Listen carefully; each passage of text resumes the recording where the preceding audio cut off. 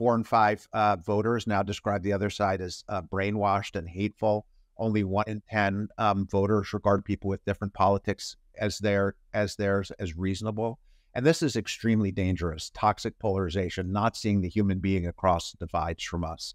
And we started thinking about whether there was anything we could do to help that put strangers across the political divide together under the then premise and now truth that it's hard to hate up close. When we stop believing in each other, we're scared of our neighbors.